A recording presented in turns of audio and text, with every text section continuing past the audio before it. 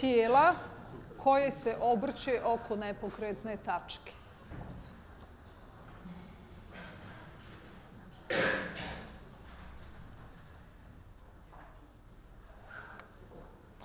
Da bi došli do pojma trenutne ugaone brzine, hajmo najprije početi sa pojmom srednje ugaone brzine. Pri čemu srednju ugaonu brzinu kojom tijelo rotira pri prevođenju iz onog položaja 1 u položaj 2, kako smo malo prije pokazali objašnjavajući Euler-D'Alemberu teoremu, možemo definisati količnikom onog konačnog ugla rotacije delta alfa i intervala vremena potrebnom tijelu da opiše dati ugao delta alfa. Znači, ovo bi bila srednja ugaona brzina. Srednja ugaona brzina tijela u intervalu delta t. U intervalu delta t. Ukoliko sad pustimo jeli, da ovaj naš interval vremena teži nuli, određujemo graničnu vrijednost srednje ugaone brzine i ona upravo definiše trenutnu ugaonu brzinu. Znači limes, kad delta t teži nuli od omega srednje, odnosno limes ovog količnika delta alfa po delta t, kad delta t teži nuli. Međutim, za razliku od definicije koju smo imali kod obrtanja tijela oko nepokretne ose, u ovom slučaju ne možemo da tu graničnu vrijednost interpretirati ovim izvodom po vremenu, znači diferencijalom d alfa po dt, iz razloga što Vidjeli ste, sverno kretanje smo opisali sa tri nezavisne rotacije, a ne ovom jednom rotacijom. Znači, sverno kretanje je opisano sa tri nezavisne rotacije, a nema tog ugla alfa kojim ćemo praktično tijelo prevesti iz jednog u drugi položaj. Ono je bila samo geometrijska, da kažemo, interpretacija svernog kretanja. Znači, trenutna ugaona brzina jeste granična vrijednost srednje brzine, ali nije izvod po vremenu ugla alfa, kako smo ga tamo navili, upravo iz ovog razloga kojeg sam rekla. Trenutna ugaona brzina je vektorska veličina, evo naznačit ćemo da je vektorska veličina, pa je kao vektorsku veličinu možemo zapisati u formi proizvoda njenog intenziteta i onog jediničnog vektora trenutne obrtne ose. Znači, ovo omega bi bio vektor trenutne ugaone brzine tijela, a omega nula da kažemo, je jedinični vektor trenutne obrtne ose.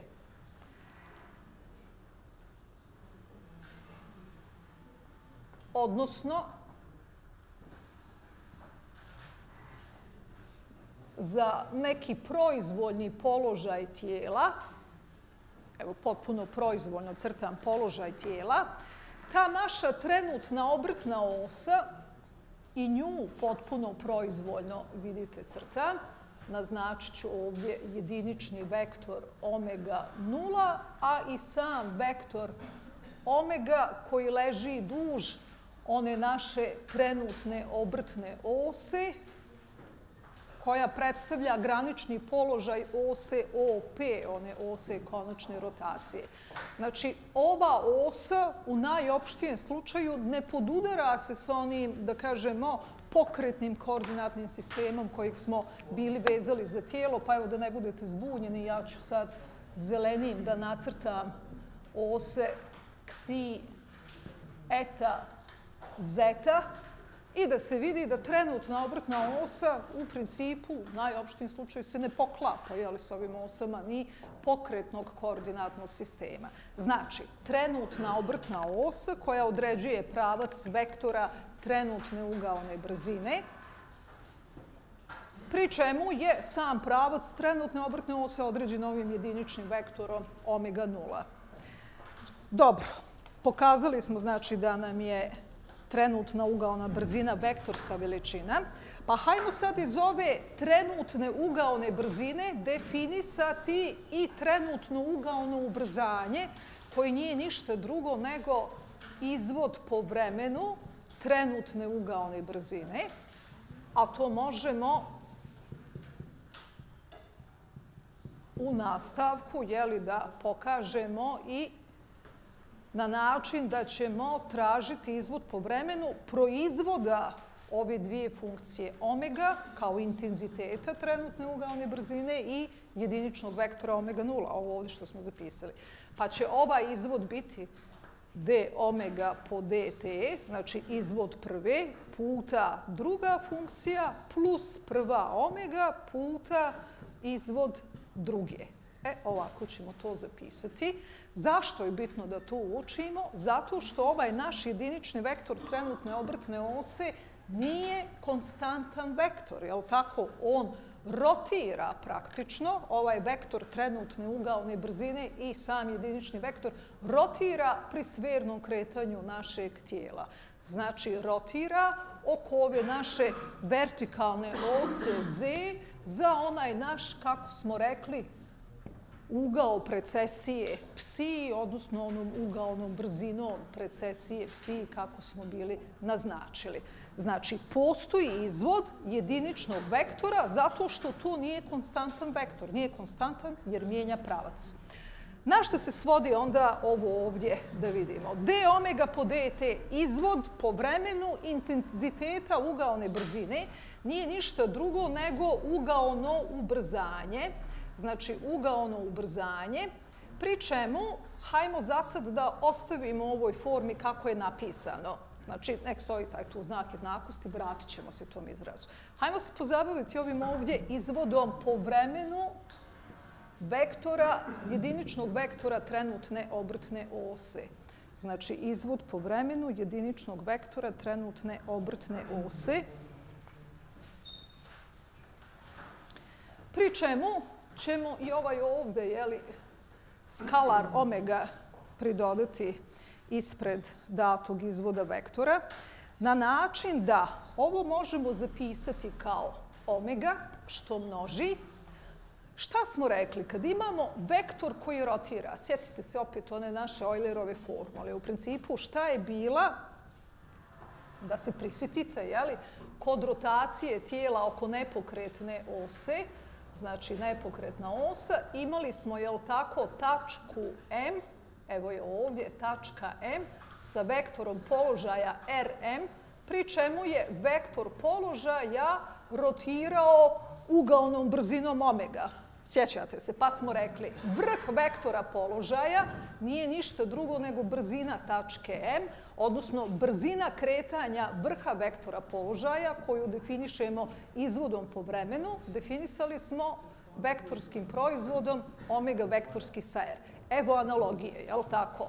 Znači, izvod po vremenu ovog našeg vektora ugaone brzine će biti vektorski proizvod ugaone brzine kojom taj vektor rotira i ovu ugaonu brzinu ćemo označiti sa omega 1.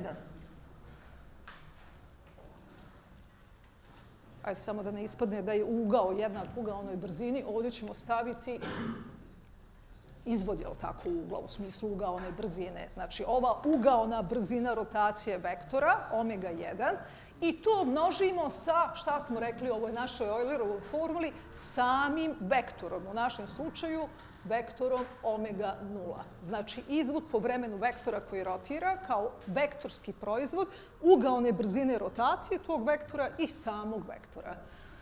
Dobro, a ovo onda nije ništa drugo nego omega-1 vektorski. Skalar ćemo u ovom našem vektorskom proizvodu zapisanom u zagradi pridružiti uz jedinični vektor omega-0, pa dobiti da je ovo omega-1 vektorski sa omega. Znači, ovo nije ništa drugo nego naša trenutna ugaona brzina omega. Izvod po vremenu jediničnog vektora trenutne obrtne ose množen sa intenzitetom ugalne brzine, na kraju interpretiramo na ovaj način. E, sad ćemo se ovdje vratiti ovaj naš izraz, pa reći da imamo d omega po dt puta omega 0 plus, a umjesto ovog člana pisati ovih omega 1 vektorski sa omega. I šta u stvari konstatujemo? Da trenutno ugaono ubrzanje, tačnije vektor trenutnog ugaonog ubrzanja, ima dvije komponente. I te ćemo dvije komponente označiti sa epsilon 1 i epsilon 2. Znači, trenutno ugaono ubrzanje ima dvije komponente, nazovimo ih epsilon 1 i epsilon 2. Komponenta epsilon 1 je po intenzitetu kolika? Očigledno je li tako d omega po dt i ima pravac jediničnog vektora trenutne obrtne ose. Znači, prva komponenta trenutnog ugaonog ubrzanja upravo karakteriše, je li tako, promjenu trenutne ugaone brzine po vremenu. I ima pravac trenutne obrtne ose. Znači, ova komponenta ima pravac trenutne obrtne ose.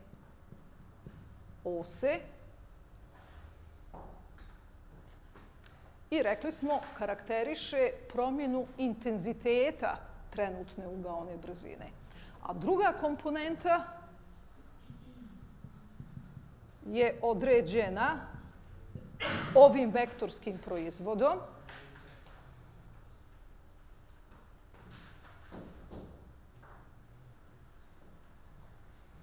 Pri čemu pravac komponente epsilon 2, kako je određen? Pa ne možemo na pamet ništa reći, ali se uvijek možemo poslužiti vektorskim proizvodom. Tačno znamo kada imamo vektorski proizvod, dva vektora, čim je određen pravac, je tako, tog rezultujućeg vektora. Uočimo ravan koji obrazuje ova dva, pa je okomica na tu ravan pravac datog vektora epsilon 2. A smjer je određen našim pravilom, je desna ruka, prvi prelazi u položaj drugog, a da nam palac pokazuje smjer datog vektora. Znači, kad su u pitanju smjer, pravac i smjer vektora epsilon 2, važe sve što važi za svaki vektorski proizvod. Znači, da ne mudrujemo previše. U svakom slučaju, ova druga komponenta trenutnog ugaonog ubrzanja karakteriše sad promjenu pravca vektora pri, jel ta, u, u vremenu. Znači imamo promjenu intenziteta vektora trenutne ugalne brzine i promjenu pravca vektora ugalne brzine. Te dvije veličine okarakterisane ovim komponentama epsilon 1 i epsilon 2. Evo, konkretno, je tako, u našem slučaju omega 1 bi bio vektor koji leži na ovoj ovdje osi OZ, vektor omega, uočili bi ravan koji obrazuju ta dva vektora, a onda bi okomica na tu ravan, znači bio vektor, pri čemu omega 1 prelazi u položaj omega, znači ovo bi bio pravac vektora epsilon 2, dok bi epsilon 1 ležao na trenutnoj obrtnoj osi. Znači, na taj način bi to interpretirali. Nije nužno ovo da nacrtate, opet važno je sa stanovišta konkretne primjere u problemima koji budemo rješavali, da ovo možemo kvalitetno, da kažemo, nacrtati. Za samo ovu skicu nije presudno, znači važno je ovo što sam vam rekla tumačeći sam matematički izraz, pa sve je definisano vektorskim proizvodom. Ako znamo naći vektorski proizvod, neće biti problema da definišemo ovaj pravac. Dobro, znači, trenutna ugaona brzina leži na trenutnoj obrtnoj osi određeno jediničnim vektorom omega 0, a trenutno ugaono ubrzanje ima dvije komponente, epsilon 1 i epsilon 2. Prva komponenta, ajte još to da eksplicitno napišemo kolikio je intenzitet. Intenzitet komponente epsilon 1 nije ništa drugo nego ovaj izvod po vremenu intenziteta ugaone brzine. Je li tako? Vidite kako sam napisala bez vektora. A sam vektor ima pravac trenutne obrtne ose. Za drugu komponentu, evo, konstatovano je što je konstatovano. Upravo ove dvije veličine, trenutna ugaona brzina i trenutno ugaono ubrzanje, su kinematske karakteristike tijela kao cijeline pri ovom sfernom kretanju tijela. Kinematske karakteristike tijela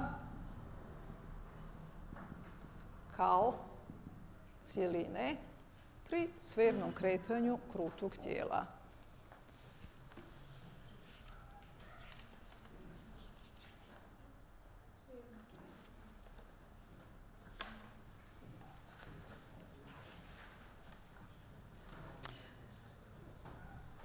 I hajmo u nastavku da vidimo šta su to Eulerove kinematičke jednačine.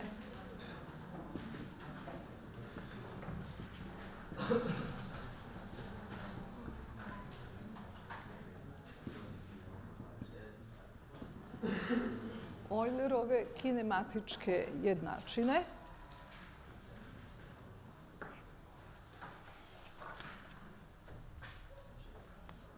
Vratit ćemo se na onaj zakon kretanja. Tri Eulerova ugla, psi, teta, fi, kojim smo definisali tri nezavisne rotacije i reći da pri svirnom kretanju krutog tijela možemo odrediti srednje ugaone brzine koje odgovaraju pripadajućim uglovima.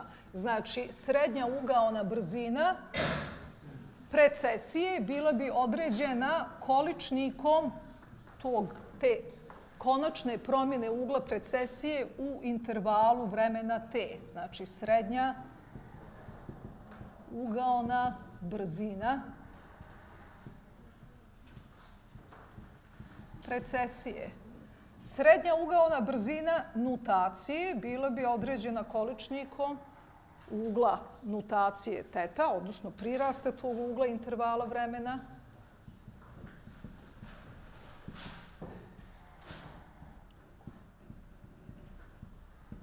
i srednja ugaona brzina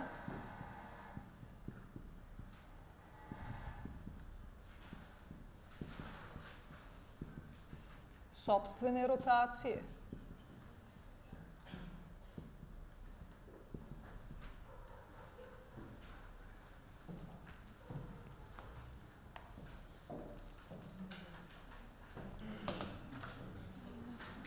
Sobstvene rotacije dobro, znači tri srednje ugaone brzine, a očigledno kad pustimo interval vremena, koji je isti za sve ove tri rotacije, da teži nuli, da ćemo sa ovih srednjih vrijednosti preći na granične vrijednosti za svaku od ovih brzina.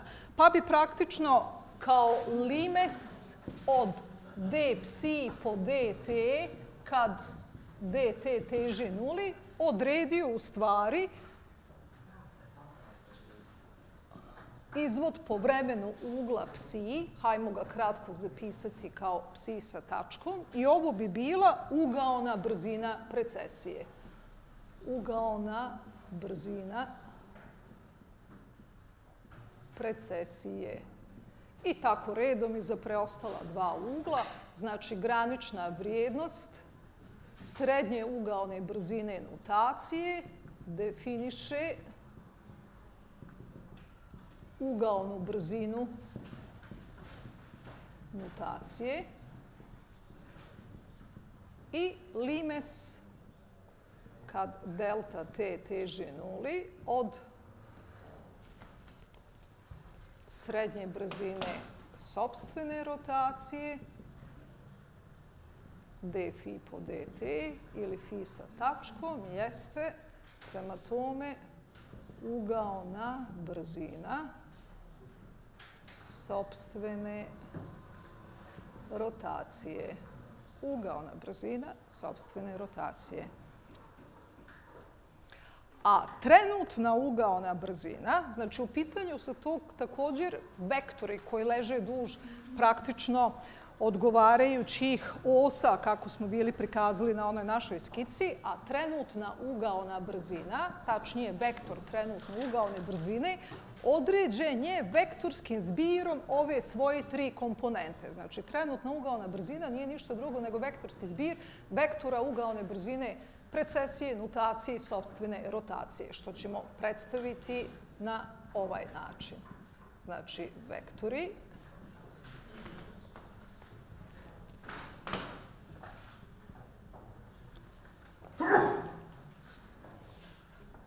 Vidjeli ste kako smo rotacije vršili i u odnosu na svaku osu oko koje smo obrtali tijelo za neke od ova tri ugla, duž te ose leži vektor date ugaone brzine. Treba se vratiti na one skice koje smo imali prethodni čas. Dobro, znači vektor trenutne ugaone brzine određen svojim komponentama. E, ja ću sad izbići da crtam ovu narednu skicu, budući da je ona poprilično zahtjevna, a i nećemo ništa jeli, kvalitetno dobiti ovaj njenim crtanjem. Ono što hoću da sad uočite jeste da ovu trenutnu ugaonu brzinu, evo je ovdje na našem crtežu, duž crvenog pravca, taj crveni vektor trenutne ugaone brzine možemo projektovati na ose Dekartovog nepokretnog koordinatnog sistema, znači ovog crnog, a isto tako možemo projektovati na ose ovog zelenog pokretnog koordinatnog sistema. Znači, projekcije vektora trenutne ugaone brzine na ose Dekartovog nepokretnog sistema bile bi označene sa ove tri je li tako, veličine omega x, omega y, omega z. A projekcija ovog vektora trenutne ugaone brzine na ose onog zelenog koordinatnog, pokretnog koordinatnog sistema bili bi, evo ispod ću ih napisati, omega xi, omega eta i omega zeta. A te projekcije, e njih ćemo ispisati, su upravo sljedeće. Evo ovako ćemo najprije sa ovim projekcijama na ose Dekartovog nepokretnog sistema. Znači, ukoliko znamo tri Eulerova ugla, pogledajmo, znači trenutna ugalna brzina predstavljena praktično e, odgovarajućim komponentnim brzinama, a ako znamo kako se svaki od ovih uglova mijenja sa vremenom, znači ako znamo konačne jednačine kretanja, onda su komponente iz ovih uglova sljedeće. Pogledajmo čemu je jednaka x komponenta. Psi sa tačkom, sinus teta, sinus fi, plus teta sa tačkom, kosinus fi. Sljedeća komponenta, e, ja sam sad malo pogriješila, a pogriješila sam zato što mi je na papiru najprije pokretni sistem. Znači, napisala sam nešto što nije kako treba. Uh, nije problem da izbrišete, je li tako?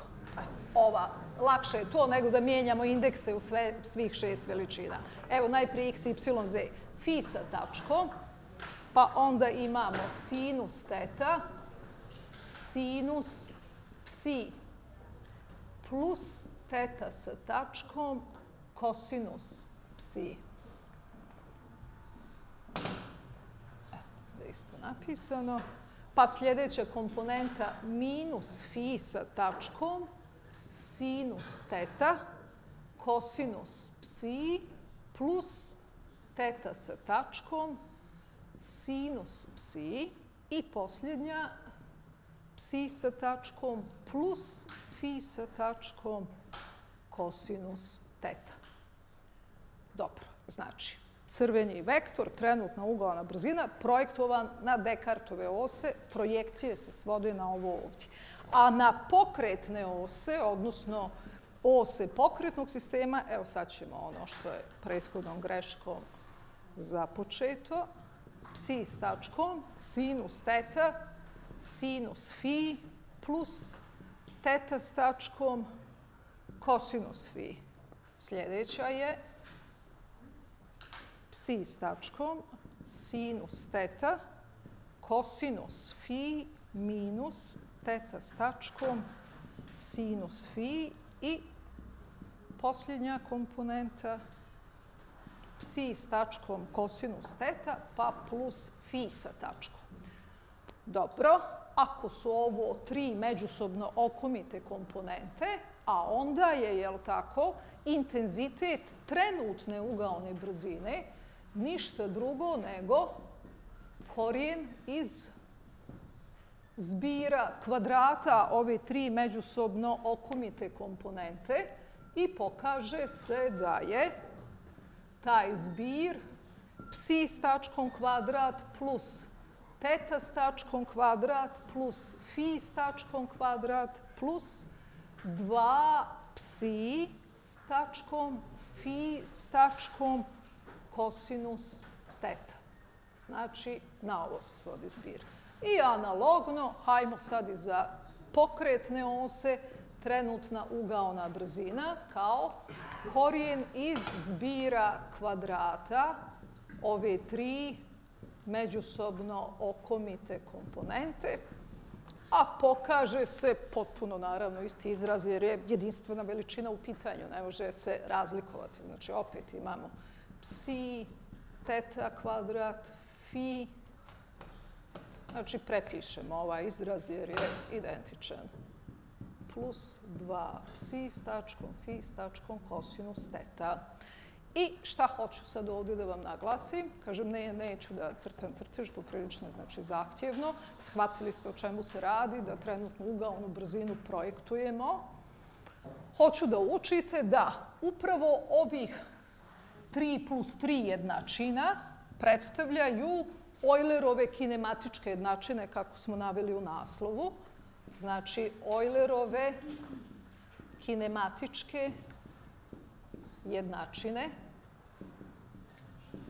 Vidite, nisu ništa drugo nego projekcije vektora trenutne ugaone brzine na ose Descartovog nepokretnog sistema referencije, odnosno na ose pokretnog sistema referencije koji je vezan za tijelo i kreće se zajedno sa tijelom. Ne trebate ovo pamtiti na pamet, znači ne očekujem da to znate, ne znam ni ja to na pamet, zato i naglašavam da znate da u principu ono što očekujem da znate jeste šta su Eulerove kinematičke jednačine i upravo sam rekla projekcije trenutne ugaone brzine na ose nepokretnog, odnosno pokretnog koordinatnog sistema. Kad nam budu trebale za zadatke, pa naravno da ćemo uzeti neke teoretske podloge pa vidjeti je li tako svaka od tih komponenta čemu jednaka. Uočite naime da ako znamo ova tri ova tri, ove tri jednačine zakona kretanja, pa upravo su funkcije kojim definišemo date komponente brzine prvi izvodi uglova i odgovarajući trigonometrijski vrijednosti tih uglova. Sinus, kosinus nekog od ugla i puta je izvod po vremenu koji postoji budući da je svaki od uglova neprekidna funkcija vremena. Uzet ćemo dva puta diferencijabilna prvi izvod za ugaonu brzinu i drugi potom za ugaono ubrzanje ako postoji. Dobro, evo, definisali smo i šta je to trenutna ugaona brzina kao vektor zbir, jel tako, komponentnih brzina, a projektovanjem na odgovarajuće ose koordinatnog sistema dobijamo Eulerove kinematske jednačine. Ovdje ćemo stati. Slijedi nam brzina i ubrzanje tačke tijela pri rotaciji oko nepokretne ose, ali ostavit ćemo to za naredni termin praktično koji budemo imali. Evo nešto ćemo i ranije završiti danas.